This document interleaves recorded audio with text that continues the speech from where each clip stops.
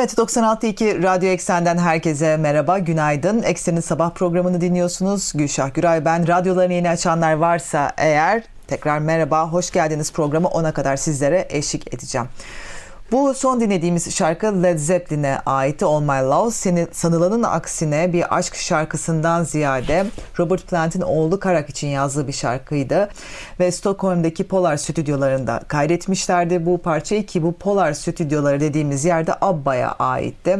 Buradaki synthlerle duyduğumuz synthler de Abba elemanlarından Benny Anderson'a aitti. Sadece bu prodüksiyon sırasında, bu kayıtlar sırasında kullanılmıştı. John Paul Jones tarafından çalınmıştı. İşte böyle 96.2 Radyo Eksen'de sabah programına devam ediyoruz. Şimdi The Divine Comedy sırada.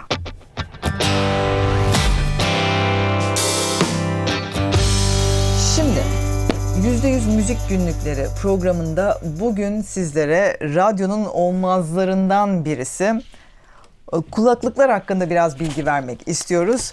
E, nitekim görüldüğü gibi bir tane kulaklık artık kullanılmayacak duruma geldiği için ben başka bir kulaklıkla programa devam ettim. Ama bu kulaklık neden yapmıyorsunuz?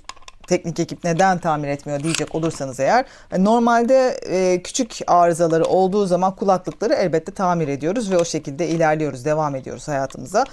Gayet de güzel kullanılabilir bu kulaklıklar ama böyle olduğu zaman o kulaklık maalesef artık kullanılmayacak bir seviyeye geldiği zaman da biz bu kulaklıkları artık emekliye ayırıyoruz. Dolayısıyla yeni bir kulaklık almamız gerekiyor. Şimdi bizim bugün yapacağımız şey aslında birçok kişinin de eminim sorduğu kafasında soru işareti belki olmuştur. Bir kulaklık nasıl alınır? İhtiyacınıza göre elbette belirleyeceksiniz. Ben şimdi bugün stüdyoya bir kulaklık, bir radyo kulaklığı, radyoda bizim daha iyi sesleri duyabilmemiz için, ayrıştırabilmemiz için gerekli olan teknik seviyedeki bir kulaklığı almaya, bu işi en iyi bilenler tarafından yönlendirilmek için Zuhal Müziğe gideceğim ve oradan bir kulaklık satın alacağım. Fakat sadece radyo için tabii ki bunları sormayacağım. Yani sadece radyo kulaklığı nedir, nasıl alınır, nasıl seçilir diye ee, onlarla sohbet etmeyeceğim, sorularımı yöneltmeyeceğim. Genel olarak kulaklıklarla ilgili bir konuşma, bir bilgi almak için aslında oraya gidiyoruz. Zira bu kulaklığı artık kullanamıyoruz. Bir konuk gel- gelirse eğer ona verecek kulaklığımız şu anda Eksen stüdyosunda bulunmadığı için yenisini almak üzere Zuhal Müziğe gidiyoruz. Evet, Zuhal Müzik Dükkanı'na vardık. İstanbul'un trafiğinden hiç beklenmeyecek bir şekilde hızlı bir e, sürede geldik. Zuhal Müziğe Maslak'tan Acıbadem'e ve biraz sonra dükkana gireceğiz. Fakat şunu düşündük, yani bizim asıl amacımız aslında evet Radyo Ekseni stüdyosundaki kulaklıklardan biri kırıldı. Onun yerine yenisini almak ve bunu alırken neye dikkat etmemiz gerektiğini öğrenmek. Sadece stüdyo için kulaklık değil, mesela koşarken nasıl bir kulaklık kullanmanız gerektiğini az sonra soracağım. Fakat buraya kadar gelmişken evlerde birçok kişi podcast program kendisi kaydediyor. Bu podcast programları kaydeden kişilerin en azından nasıl bir ekipmana ihtiyacı olduğunu da öğrenmek istiyoruz. Böyle bir programı kaydetmek için iyi bir şekilde, temiz bir şekilde kaydetmek için nelere ihtiyacımız olduğunu da yine az sonra basit anlamda çok yani aslında birazcık karışığını da sorabiliriz ama en basit olarak neye ihtiyacımız olduğunu da soracağız. Hazır buraya kadar gelmişken iki tane önemli bilgiyi e, öğrenelim, kayıtlarımıza alalım istedik. Giriyorum içeriye.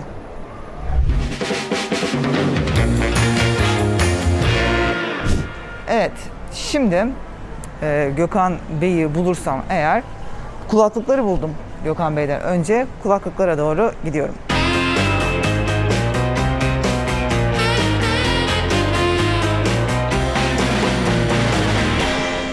Evet, e, Zuhal Müzik'ten Gökhan Bey ile birlikteyiz. Merhaba, teşekkür Hoş ederiz. Hoş bulduk. E, bizleri kabul ettiğiniz için.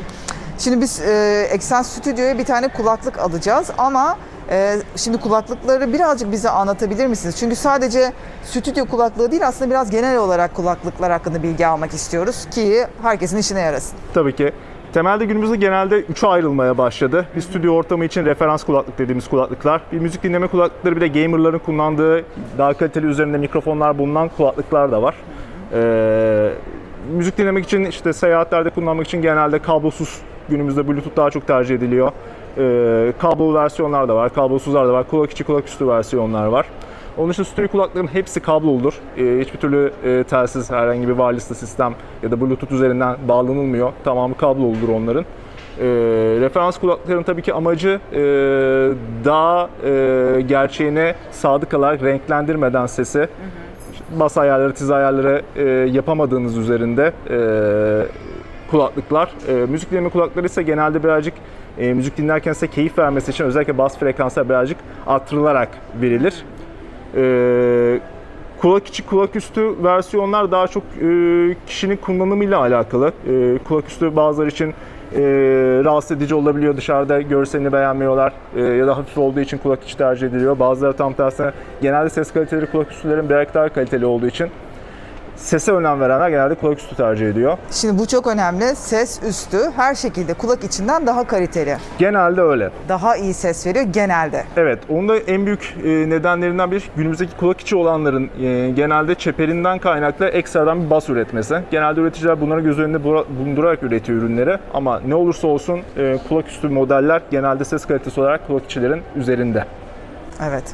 Şimdi ben bunları daha birazcık daha açarak ilerle biraz örneklerle yapacağız ama şuraya oturalım istiyorum. Burada bize gösterebileceğiniz mesela sizin e, stüdyo için önerebileceğiniz ilk önce bir onlara bakalım isterim. Ondan sonra Şu tarz kulaklıklar genelde e, hem konfor olarak uzun süreler çalışıldığı için stüdyoda hem konfor olarak hem e, sanatçıyı rahatsız etmeyecek hem de mühendisi oradaki rahatsız etmeyecek şekilde dizayn edilmeye çalışılıyor büyük oranda.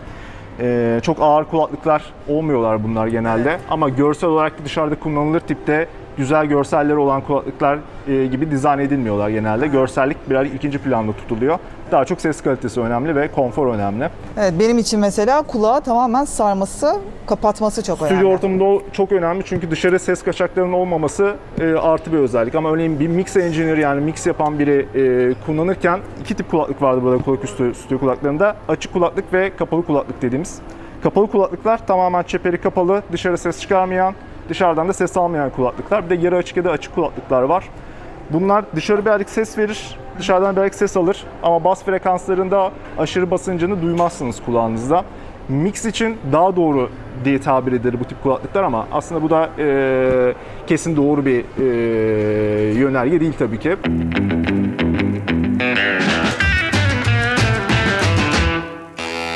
Evet, bugünkü %100 e, müzik günlüklerinde e, bahsettiğimiz gibi kulaklıklardan aslında yola çıktık. Bir kulaklık seçerken nelere dikkat edilmesi gerekiyor?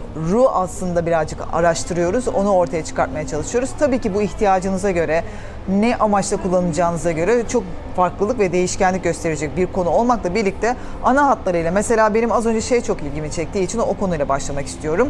Gamerler yani son dönemde eminim ki bir sürü artık kaç yaş aralığı olduğu o bilmiyorum ama 5'ten başlıyor olabilir. gerçekten mi? Yani çocuklar e, teknolojiye aşırı iç içe olduğu için çok küçük yaşlarda artık e, oyunların içindeler. Bu bahsettiğimiz kulaklıklar da sadece çocuklar için değil, ileri yaşlardaki insanların da kulak sağlığı açısından önemli. Önemli. O yüzden e, mesela bir gamer'ın, diyelim ki gamer'dan hazır laf açılmışken, bir kulaklığı seçerken nelere dikkat etmesi gerekiyor ya da neleri tercih ediyorlar? Neye göre bu kulaklığı tercih ediyor? Bir gamer. Gamer dediğimizde yani bilgisayar oyunlarıyla haşır neşir Evet. ilgilenen insanlar. herhangi bir oyun konsolu ya da bilgisayar üzerinden profesyonel de olabilir. E, Kendi çevreler arasında e, daha amatör de olabilir. Onların için en önemli şey aslında şöyle, e, daha efekt bazlı oyunlar oyn- oynadıkları için efektleri daha duyulabilir. Sanki bir sinema filmi izliyormuş gibi efektleri daha duyulabilir. Konuşmalarda falan daha başarılı olan, çünkü bazen onlar da sessiz konuşmalarla falan ilerliyorlar. Konuşmaları daha net duyurabilir. Kulaklıklar tercih ediyorlar. Onların kulaklıklarında bir de önemli faktör mikrofonun iyi olması. Yani standart bizim kullandığımız kulak içi kulaklıklardaki işte konuşmalarda bir duyuluyor bir duyulmuyor tarzı e, mikrofonlar değil oldukça kaliteli mikrofonlar içeriyor bu kulaklıklar. Hem birbirleriyle iletişimde sorun yaşamıyorlar e, böylece e, hem de e, oyunu oynarken hem oyunun daha çok içine girebiliyorlar. E, daha çok hissedebiliyorlar. Sanki oradaymışlık hissiyatıyla hatta bunların artık 3D'leri falan da çıktı. Bayağı üç boyutlu ses gibi olabiliyor bazıları. Sinema Binaural- gibi. Evet. Yani o zaman bir e, iyi bir hmm, kulaklık almak isteyen bir gamer'ın dikkat, etmesi gereken şey kulaklık kadar o kulaklığın mikrofonu da Mikrofon da önemli onlarda. Peki bir de şunu merak ediyorum. Mesela sabah radyo dinleyen ve spor yapan çok fazla dinleyicimiz var. Onlar için de kulaklık e, önerisi almak isterim. Sporda performans yaparken tabii ki en önemli şey e, kulağınıza sabit durabilmesi kulaklığın. Yani sürekli düşüp onu sürekli geri takmaktan uğraşmak yerine sabit e, onu unutup kulağınızda olduğunu unutup e, siz kendi sporunuzu yaparken bir taraftan da müzik dinleme, podcast dinleme e, o an ne e, dinlemek isterseniz onu rahat bir şekilde e, dinleyebileceğiniz e, formda üretiliyorlar. E, bir de tabii ki tere dayanıklılık, hafiften suya dayanıklılık, tuza dayanıklılık bunlar da önemli. Genel spor kulakları üretilirken e, kulak içi olanlarda genelde bir kulaktan çıkmasın diye kulak kepçesine takılabilir bir kanca yapılıyor. Böylece performans sırasında, e, etkinlik, etkinliğin sırasında e, herhangi bir şekilde rahatsız olmadan kulağınıza sabit kalabiliyor. Dediğim gibi ikinci şeyi e, tuza ve tere dayanıklılık. Örneğin kulaküstü modellerle spor yaparken genelde e, basınçtan ve tabii ki hava almamasından dolayı daha fazla terleme yapıyorlar. O hem de nasıl derler insan öyle. O yüzden genelde kulak içi sporda daha iyi bence. Evet. Spor kulaklarında yine bir ucu var ama e, profesyonel müzik dinleme amaçlı bakıyorsanız evet ucu bucağı yok. Profesyonel müzik dinleme derken neyi kastediyorsunuz? Hangi, kimler bunu tercih etmeli diyorsunuz? Profesyonel müzik dinleme iki taraf var. Bir e, direkt dinleyici tarafında e, çok iyi hi-fi sistemlerde e, stüdyoda ne kaydedildiyse her şeyle, her detayıyla olduğu gibi duyarak dinlemek isteyen e, dinleyici tarafı var. Peki de bunu pro da- audio dediğimiz. Bunu da birazcık açabilir miyiz? Yani mesela ben stüdyoda normalde duyduğumdan ne farklı bir şey duyabilirim o kulaklığı kullanarak? Hi-Fi'de genelde amaçlanan e, bir tecrübe yaşatması kişiye. Yani orada stüdyoda o müzisyenlerle berabermiş gibi e, sanki kulağını kapa gözünü kapadığını, özür dilerim, e, gözünü kapadığında sanki karşılarındaymış gibi onları duyabilmesi, görebilmesi gibi. E, Hi-Fi sistemlerde tabii e, o ara e, gamerlarda bahsettiğim DAC dediğimiz çeviriciler orada ön plana çıkıyor. Özel kulaklık preamfileri kullanıyorlar. Özel kulaklıklar kullanıyorlar ki bunların hepsi tamamen kablolu kablosuz hi-fi tarafında hiç olmuyor. Ee, sürücüler değişiyor. Örneğin genelde ya tek sürücülü ya iki sürücülü e, kulaklıklar kullanırken onlar üst sürücülü hatta bildiğim kadarıyla şu an dört sürücülü e, çok böyle e, üç boyutlu abartı şekilde yapabilen Yani bu bahsettiğimiz buradan buradan buradan ses geliyor her gibi yerden mi? 360 derece gibi duyurabiliyorsunuz. O kayıtların tabii önemi var. Yani e, binaural tabii. kayıt dediğimiz e, 360 derece kayıt alan e, bir sistemden kayıt al- alındıysa eğer, e, eğer öyle bir kulaklığınız ve öyle bir converter'ınız, çeviriciniz de varsa e, bu etkiyi direkt olarak e, yaşayabiliyorsunuz siz de. Peki e, bu daha profesyonel olarak dedik. E, sporculardan bahsettik. Bir de normal e, uçakta giderken dinleyeceğim, otobüste giderken dinleyeceğim, metroda giderken dinleyeceğim gibi günlük hayatta kullanabilecekleri çok pahalı olmayan e, ama iyi bir ses de verecek olan müzik dinlemeyi seven bir kişinin alması gereken ya da bunu alırken nelere dikkat etmesi gerektiğini e, soracağım. Tüketicilerin tabii ki ilk baktığı görsel güzellik. İkinci olarak da kulağında rahat oluyor mu olmuyor mu tabii ki. Bunlar en önemli faktörler. Ondan sonra genelde sese bakıyorlar ama tabii ki ses de önemli. Ee, en önemli şey o zaten aslında. İkinci olarak dediğim gibi konfor da önemli. Çünkü e, yani seyahat esnasında belki yarım saat kulağınızda hiç çıkarmadan kalmasını istiyorsunuz onun. Bir rahatsızlık duyarsanız o cihazı, o ürünü bir daha kullanmazsınız o kulaklığı. O yüzden konfor da önemli. Bir de ufak olması ya da büyük olması da taşındığı için önemli olabilir. Evet yani katlanabilirliklerine formlarına dikkat ediyorlar. İşte ürünü aldığınızda bu şekilde mi çantamda taşır mı yoksa katlayabiliyor muyum? Ne kadar ufalabiliyor? Ee, işte çantası var mı beraberinde? İşte istediğim zaman örneğin e, Bluetooth tercih ettiğimde istediğim zaman e, kablolu da pili şarjı bittiğinde kablolu olarak da kullanabiliyor muyum? Şarj süresi ne kadar? E, 2 saatte mi bitiyor, 3 saatte mi bitiyor, 20 saat mi dayanıyor? Bunların Evet, hepsi 20 saat dayanan var. 25 saat civarı var. Yani 25-30 saat civarı e, kulak üstüler dayanabiliyor ama kulak içiler maksimum 8 saatte falan e, şarjları biter. Orada başka e, getirdikleriniz Evet. vardı.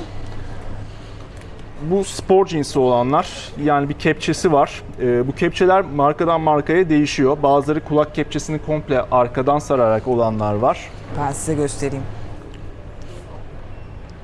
Bunların dediğim gibi Kepçeyi görüyor musun? yapı malzemesi önemli yani tere, tuza dayanıklılık. Bu da benzer seride standart bir kablosuz. Bunun tamamen günümüzde kablosuz versiyonları, kulak içi olan e, tamamen kablosuz versiyonları da var. Ya da basit bir kabloyla iki kulaklığın birbirine bağlandığı Bluetooth kablo, e, kulaklıklar da var. E, günümüzde tabii yine pratiklik açısından e, ufak bir kaplan taşınabilir. Tamamen kulak içi iki kulaklığın birbiriyle bağlantısı olmayan tipte kulaklıklar çok tercih edilmeye başlandı. Evet.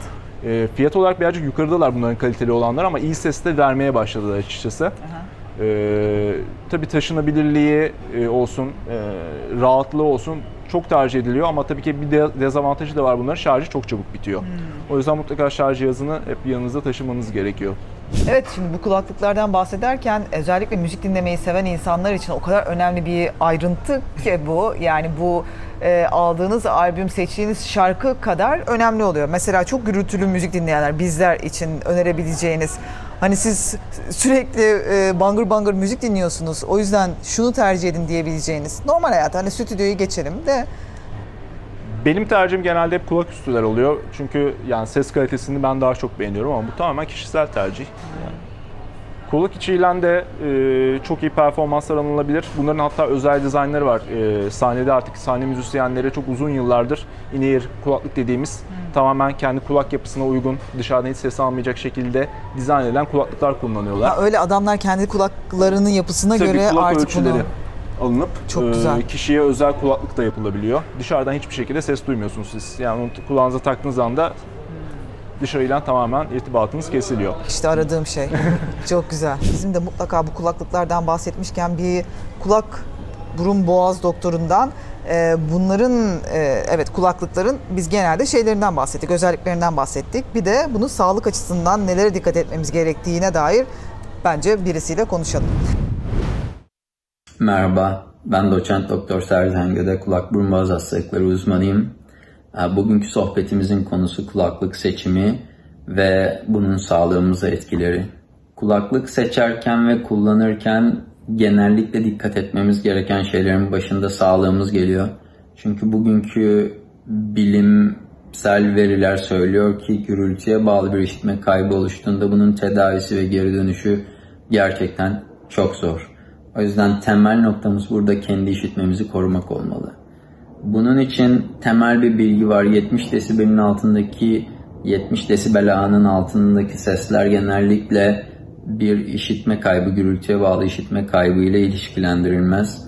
80-85 desibel ve bunun üzerindeki sesler bir işitme kaybı ile ilişkilendirilebilir. O zaman bizim için temel nokta yüksek sesi mümkün olduğunca az süre kullanmak ya da hiç kullanmamak olmalı. kulaklıkla müzik dinlerken neye dikkat etmeliyiz? O kulaklığı neye göre seçmeliyiz? Bir kere kaliteli bir cihaz almalısınız. İşitme sinirinize zarar verecek seviyeye yaklaştığınızda size uyarı verebilmeli o cihaz. Ya da parazit sesler olmamalı. Duyduğunuz sesin şiddeti, frekansı doğru ve temiz olmalı. İkincisi kulak içi mi, kulak üstü mü? Ee, en çok sorulan sorulardan biri. Ee, burada aslında işitme sinirine zarar verme açısından ikisi arasında anlamlı bir fark yok. Dış kulak yolumuzu korumak için kulak üstünü tercih edebiliriz. Çünkü kulak içi kulaklıklar tabii dış kulak yolunda bir süre sonra hafif bir nemlenmeye sebep oluyor. Nemi seven bir takım mikroorganizmalar var mantar gibi ve sonuçta bir dış kulak yolu enfeksiyonuna daha yatkın hale getiriyor sizi kulak içi kulaklık. Ama onu da doğru kullanırsanız e, tabii ki e, arada bir kulağınızı havalandırırsanız bir sakıncası yok. Onu da kullanabilirsiniz. E, ama bizim önerimiz bir kulaklık tercihi yapılacaksa kulak üstü kulaklıklardır. Bir kulak burun boğaz hastalıkları uzmanı olarak dış kulak yolunun hijyeni ile ilgili e, kısaca bir bilgi vermek istiyorum. Dış kulak yolumuz bir salgı salgılar. Biz buna buşon, serümen veya halk arasında bilinen kulak kiri olarak e, biliriz. E, bu kir, bu salgı aslında dış kulak yolunu korur. Ne yapar? Özel asidik bir pH e, salgılar ve böylece dış kulak yolumuz kolay kolay mantar enfeksiyonu kapmaz. Bakteriyel enfeksiyon kapmaz. Biz dış kulak yolumuzu temizlediğimiz zaman dış kulak yolumuzu aslında savunmasız bırakıyoruz ve bir takım enfeksiyonlara yatkın hale getiriyoruz. Dolayısıyla mümkün olduğu kadar dış kulak yolunuza pamuk sokmayın. Kulağınızı temizlememeye çalışın. O kir kendisi atacaktır. Dinleyicilerin günlük müzik dinleme süresi olarak dinledikleri ses şiddeti yani desibele göre karar vermeleri gerekmektedir. Ses kaynakları genellikle 100 ila 120 desibel arasında ses şiddeti sunarlar dinleyicilere. Bunu da şöyle örnekleyebiliriz. Bir matkap sesi yaklaşık 100 desibeldir. Bu seviyelerde yani yaklaşık 100 veya 120 desibel ses şiddeti seviyelerinde dinleyebileceğiniz maksimum süre 15 dakikadır. Daha fazla dinlemeniz kesinlikle işitme sağlığınızı bozacak ve kulaklarınızda akustik travma dediğimiz etkiye neden olacaktır. Ancak genel bir ifade kullanacak olursak 80 desibelde sesi günlük maksimum 1,5 saat dinleyebilirsiniz. Ya da daha kısık bir şiddet olan 60 desibelde bu süreyi 3 ya da 4 saate kadar çıkarabilirsiniz. Uzun süre yüksek şiddetle sesi dinlemek geçici veya kalıcı olarak işitme eşik kaymasına veya kayıplarına neden olabilmektedir. Bu etki kişiden kişiye göre değişmektedir. Normal düşük şiddetli konuşma sesinde dahi kulaklıklarla birlikte işitme kaybı gelişebileceğini hatırlatmakta fayda var. Evet az önce kulaklıklardan bahsettik. Nelere dikkat edilmesi gerektiğini, işte bir sporcunun nelere dikkat etmesi gerektiğini, profesyonel bir insanın nelere dikkat etmesi gerektiğini, normal bir insanın dinlemesi için nelere dikkat etmesi gerektiğini vesaire. Bütün bunları e, konuştuk ama tam o sırada aklımıza podcast için gerekli olan malzemeler hazır buraya kadar gelmişken neler olabilecek? En minimumda. Aslında maksimumu da soracağım. Hani nereye kadar gidebilir bu? E, onları öğrenmek için yine Gökhan Bey'den rica ettik. Çok basit olarak e, USB mikrofon dediğimiz mikrofonlar e, en çok tercih edilenler günümüzde. E, nedeni de tek bir cihaz alıyorsunuz ve her şeyi çözmüş oluyorsunuz. Yaptığı şey nedir? Yani podcast yaparken şunlara ihtiyacınız var. Mutlaka sesinizi duyurmanız için bir tane mikrofona ihtiyacınız var. Bunu bilgisayar ortamında kaydedeceğiniz için e, araya bir tane mutlaka çevirici lazım. Yani analog sesi dijitale çeviren bir converter, bu ses kartı olabilir.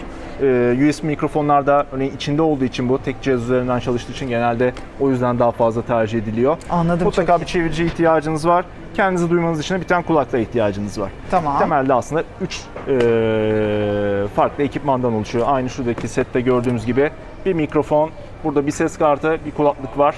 Evet. Temel ihtiyacınız bu ya da bunun iki cihazın kompakt hale getirilmiş USB mikrofon dediğimiz tarzda bir e, mikrofonla da dediğim gibi yapabilirsiniz. Peki normalde bu üç tane şeyi bir taneye indirmelerde bazı e, eksiklikler, kayıplar daha doğrusu oluyor. Bunda da aynı şey geçerli mi? Yoksa podcast'te zaten sadece bir ses fazlasına ihtiyaç yok. Düzgün bir ses olduğu için böyle bir şeyi tercih edebilir misiniz? Yeterli. Şöyle e, tabii ki harici ayrı ayrı aldığınızda e, hepsinin kalitesini kendi isteklerinize göre arttırabiliyorsunuz. Ama böyle bir set aldığınızda size ne sunuyorsa ondan yetinmek zorundasınız. E, günümüzde USB mikrofonların kaliteleri çok arttı açıkçası. E, e, eskiden çok fazla böyle dip gürültü Evet. daha fazla oluyordu normal harici ünitelere göre. İşte yeterince detay duyamıyordunuz gibi ama artık çok daha gelişti.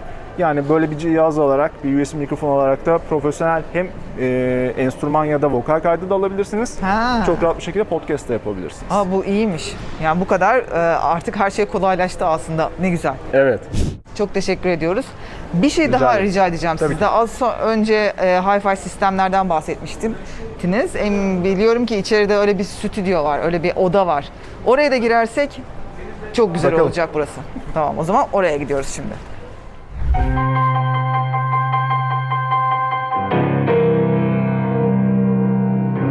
E, burada bizi bekleyen şey nedir? İçeriye gireceğiz şimdi. Profesyonel bir ortamda, hi-fi sistemde müzik dinlerken e, hangi ekipmanlar alınabilir? E, nasıl kaynaklardan müzik dinlenir? Ekipman olarak nelere ihtiyacınız var? E, bunlardan bahsedebiliriz. Evet güzel. Pick-up üzerinden yürüyeceğiz o zaman şimdi değil mi? Kaba başlayabiliriz. Tamam güzel. Pick-up'la devam ediyoruz. Bir sonraki programı da hatta bence böyle bağlanabilir. Nasıl? Pick-up seçerken nelere dikkat edilmesi gerekiyor? Onu başkasına bırakıyorum artık. Evet Zuhal Müzik'teki programa devam ediyoruz. %100 Müzik'te e, müzik günlüklerinde bugün kulaklıklardan bahsettik. Nasıl bir kulaklık seçileceğinden hemen arkasından programı bağlamak için evde podcast kaydeden birisinin nelere, minimumda nelere ihtiyacı olduğundan bahsettik. Hazır buraya kadar gelmişken deyip böyle hazır buraya kadar gelmişken deyip 5 saatlik bir program da yapabiliriz aslında ama şu e, stüdyoda bu hi-fi bir dinleme tecrübesini de hissederek bugünkü programı kapatalım istedik. Evet bir yengeç burcu olarak e, bildiğimden vazgeçemedim. Yine gidip aynı e, kulaklığı seçtim. Stüdyo için aldığımız kulaklık bu olacak. Şimdi bir de bu hi-fi sistemde kulaklığı deniyoruz ve bugünkü programı da kapatıyoruz. Gökhan Bey öncelikle çok teşekkür ederiz sizlere. Ve çok aydınlatıcı bir program oldu. En azından benim için eminim izleyenler ve dinleyenler için de öyledir. Ee, kulaklarım patlarmış şimdi bir anda açıp. Kısık sesten başlayalım. Evet siz ilk önce açın ben yavaş yavaş. Ha bir de şu kulaklıkla ilgili şunu soracaktım. Bak hazır gelmişken bizim mesela e, içerideki şeyimiz bu, kavgamız budur. Kulaklıkları şöyle açarak çıkartmayın kulağınızdan. Evet. Doğru mudur? Yani evet içindeki çünkü e, şu bölüm e, ne kadar korursanız stabilitesi yani uzun ömrü o kadar uzun e, sürer. Yani aşırı açarak çıkarmamak lazım. E, normal kulaklığa nasıl çıkartıyorsanız yani şey seviyesi neyse evet. Şudur yani. Bir Fazla de- açmamak gerekiyor bunu. Asıl dışarıda saklarken çok açık şekilde saklamamız lazım. Yani her zaman kapalı olması lazım. Günümüzde bazı şeyler var örneğin e, kulaklıklarınızı koyabileceğiniz e, standlar var. E, onların bazıları yapım olarak hatalı. Yani şey tarafını esnetiyor. Saç bandı tarafına. Onun aslında evet çok fazla esnememesi lazım. Pekala o zaman e, bugünkü programı böyle kapatıyoruz. Kulaklıklardan bahsettik. Umarız keyif almışsınızdır. Şimdi e, dinleyelim ve bitirelim programı. Muse mu dinleyeceğiz? Muse dinleyeceğiz. Hadi Muse dinleyelim.